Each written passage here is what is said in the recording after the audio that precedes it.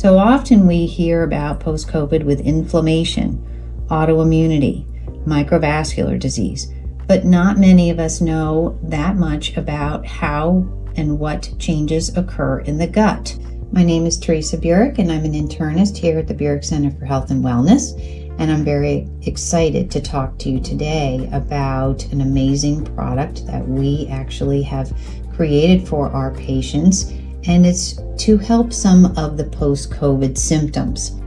So, when we are exposed to COVID, what happens is we also get it exposed in our GI tract. One of the issues that we see is that tryptophan, which is one of the things that is used for creating serotonin, is deficient.